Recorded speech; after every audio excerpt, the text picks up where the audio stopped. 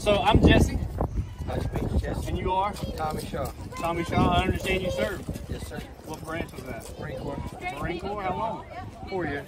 What uh, what time frame to what time frame? 85 to 89. 85 to 89. Okay. Um, any cool uh, deployments you had during those times? Oh, yeah, bunches of them. Where at? Everywhere. Everywhere? Yeah. What was your uh, what was your job while you were in? I was an aircraft mechanic. Okay, aircraft mechanic. Yeah. Did you um did you get, uh, get stationed on any big aircraft?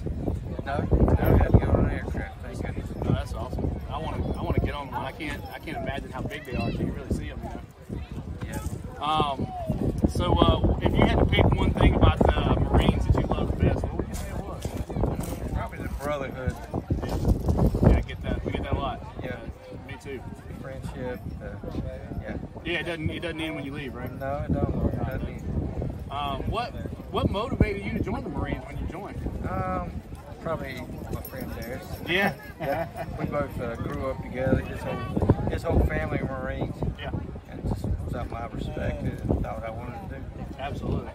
Well, um, like I said, we're Operation Fly Our Flag, and we're out here today.